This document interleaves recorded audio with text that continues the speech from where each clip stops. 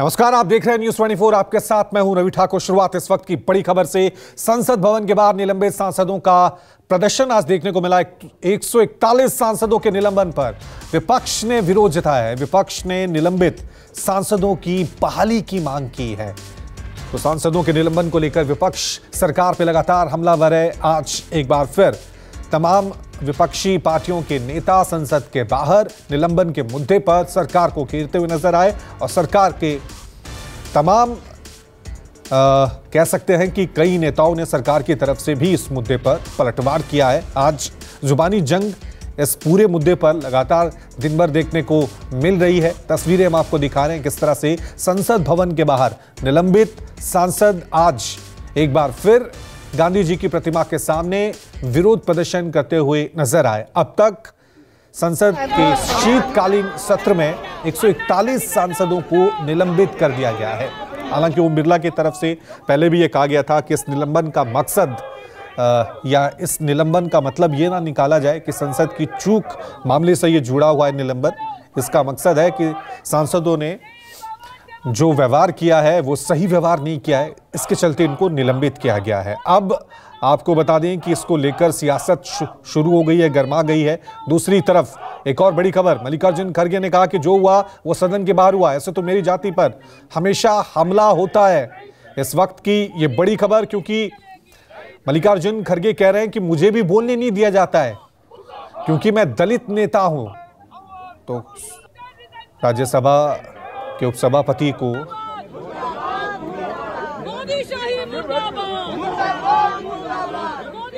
मेरी बात मेरी पीड़ा नहीं सुनना चाहते आप कहते हो 138 साल पुरानी पार्टी हो। क्या हुआ है?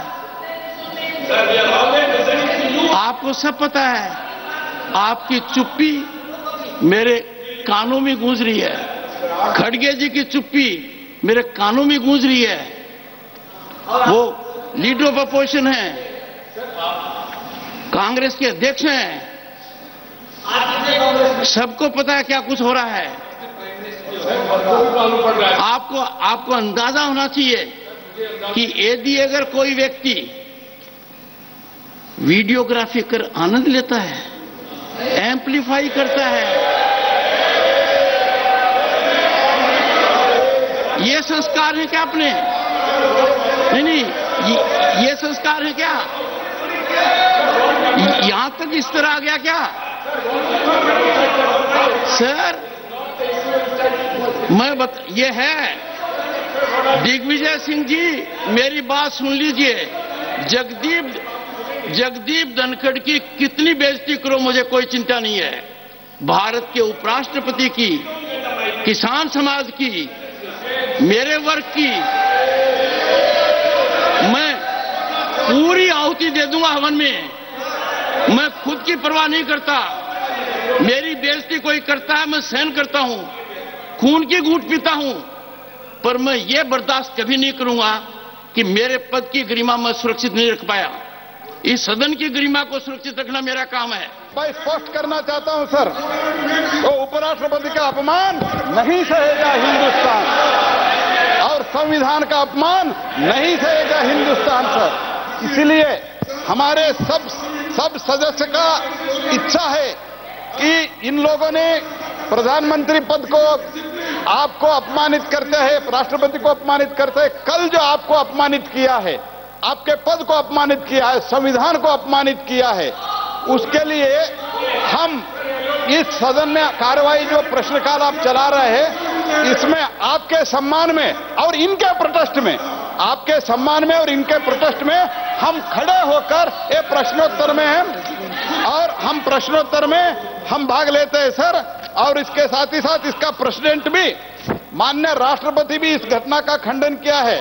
हम कि हर आदमी अगर अपनी अपनी जाति के लिए किसी विषय पे अगर बोलते हैं तो मेरे जाति को इफ़ेक्ट हुआ। तो मेरे जाति को तो हमेशा इफ़ेक्ट होता है। मुझे तो बोलने नहीं दिया जाता है। मैं जो सवाल उठाता हूँ उसको उत्तर नहीं मिलता। और आज देखिए हम जो कोई बोलने के लिए ठहरे कि चिदम्बरम साहब थे हमारे शिवाना शिवा थे और करीम साहब थे वाइको। साहब थे सभी थे। टीएमसी सभी थे। वो बात करने के लिए तो उठे। तो जितने मेंबर्स उनके हैं राज्यसभा के वो पूरे उठ के खड़े हो गए। स्लोगन शाउटिंग स्लोगन शाउटिंग ये कहीं है रूलिंग पार्टी खुद दस लोगों के लिए अगर 200 लोग खड़े होते हैं तो ये एक मज़ाक है डेमोक्रेसी का। और डेमोक्रेसी को ख़त्म करने के लिए ऐसे जो प्रेसिडेंट्स वो क्रिएट कर रहे हैं।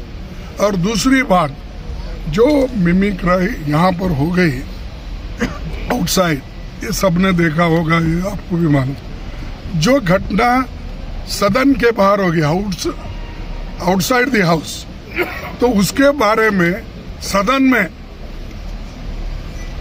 एक रेजोल्यूशन पास करना कंडेम करना, ये कहाँ का है? और वो भी ठहरे ठहरे पार्लियामेंट्री अफेयर्स मिनिस्टर ठहरते हैं और सौ, डेढ़ सौ राज्यसभा के मेंबर उनके पीछे ठहरते हैं, वहाँ स्टेटमेंट करते हैं। और हाउस के अंदर हमारे चेयरमैन साहब उनको भी परमिशन देते हैं। और हम सच्चाई बोलने के लिए हमको परमिशन नहीं मिल रहा। अपमानित नहीं करना चाहते हैं, करने का हमारा इरादा भी नहीं, वो हमारे कैरेक्टर में भी नहीं